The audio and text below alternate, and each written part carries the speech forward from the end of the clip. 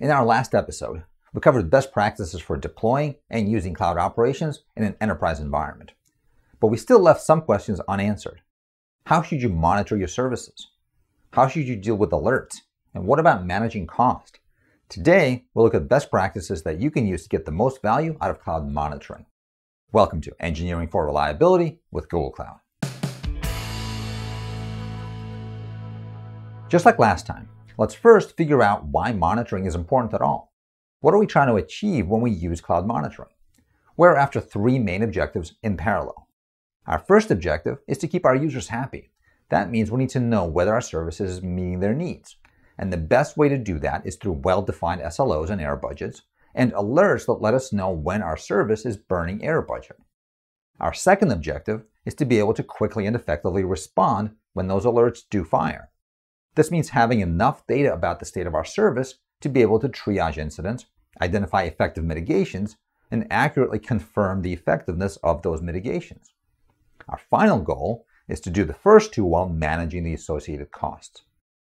Now that we've covered the whys, let's turn to the hows. We'll start by talking about what to monitor. From there, we'll get into how to best manage alerts, and finally, we'll cover cost management for cloud monitoring. Let's get into it. Let's start by talking about the obvious first question. What should you be monitoring? For the answer, we can turn to chapter 6 of the Site Reliability Engineering book on monitoring distributed systems.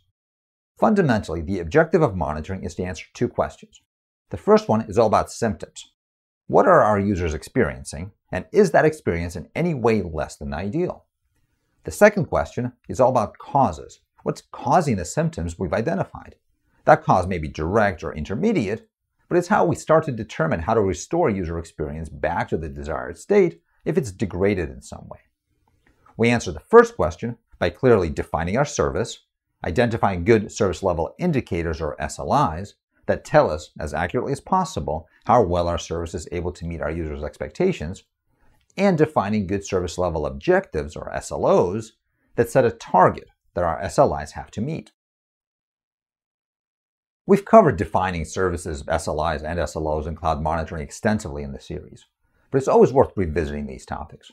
The first answer to the question of what should we monitor is how well is your service meeting the needs of your users, as expressed by good SLOs. The next thing to make sure your monitoring covers is what the SRE book refers to as the golden signals. Traffic is essentially a measure of how much user activity the service is responding to usually as a count of incoming requests for user-facing services, or data elements for data pipelines. Error rate is a measure of what percentage of the time the user activity is not successful, which of course depends on the service and user expectations. Latency is a measure of how long the service takes to service a request. And finally, saturation is a measure of how much of the available capacity the service is using at a given time. A great way to ensure that you have easy access to these signals is to create a dashboard like this. It shows the four golden signals for a given service at once. It makes it easy to correlate, for example, increases in inbound traffic to latency degradations or increased capacity requirements. You can automate the creation of dashboards like this for your services. We'll link to some examples in the episode notes. Finally, you may need to augment your monitoring with custom telemetry to capture service-specific information. We covered doing this in a previous episode. Review that for an introduction to instrumenting your services with OpenCensus and Prometheus. So that takes care of the first question, what you should be monitoring. We've just covered SLOs, golden signals, and custom telemetry, which brings us to alerting. How should you configure alerts?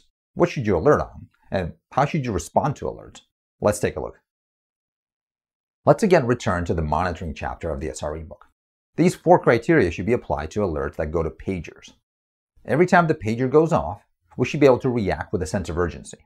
But we can only react with a sense of urgency a few times a day before we become fatigued. Every page should be actionable. Every page response should require intelligence. If a page merits only a robotic response, it shouldn't be a page. And ideally, pages alert us about a novel problem or an event that hasn't been seen before. That means we need to take action to prevent pages from reoccurring once we've mitigated the triggering condition and hopefully identify the root cause. Alerts that don't meet these criteria should not be pages. Alerts that aren't actionable are of no use at all. Alerts that require human intervention but that aren't urgent should be filed as tickets instead. Cloud monitoring supports multiple notification channels, and this allows you to set up alert delivery that meets your needs.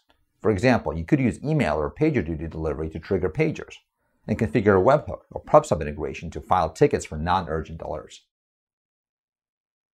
You can also automate the management of your alerts by using an automation tool like Terraform. This helps to ensure consistency and avoids human errors in alert configuration. Finally, it's important to understand the tools you have available to capture and optimize your monitoring costs. Let's have a look at those now.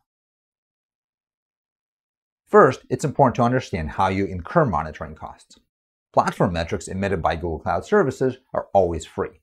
You are charged for other metrics, such as custom metrics or those written by Istio, based on storage volume.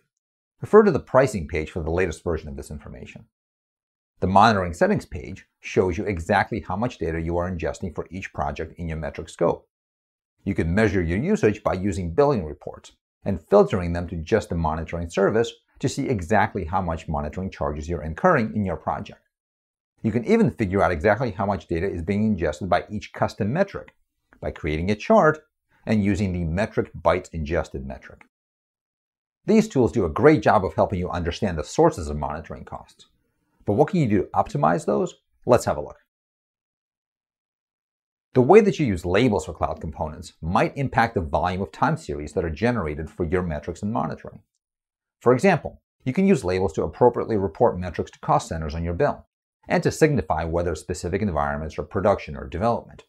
Adding these labels means that additional time series are generated in monitoring. You can calculate the total number of time series by multiplying the cardinality of all labels.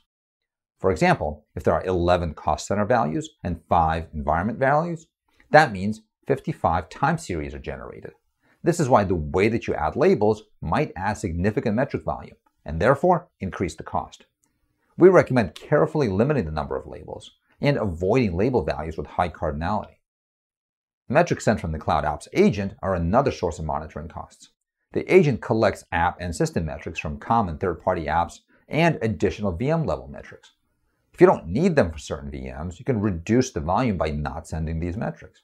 You can also reduce the metric volumes by reducing the number of VMs that use the agent. Custom metrics are chargeable metrics created by using the monitoring API or integrations like OpenCensus to monitor any metric that a user instruments. The more services that you instrument to send metrics, the more custom monitoring metrics are generated. If you want to reduce metric volumes, you can reduce the number of custom monitoring metrics that your services send. Thanks for joining me today. We covered best practices for setting up and using cloud monitoring, including what to monitor, how to manage alerts, and how to optimize your monitoring costs. I hope these recommendations help you keep your users happy. In our next episode, we'll tackle best practices for using cloud logging. Thanks so much for watching today. Don't forget to like and subscribe to never miss out on more engineering for reliability with Google Cloud. See you soon.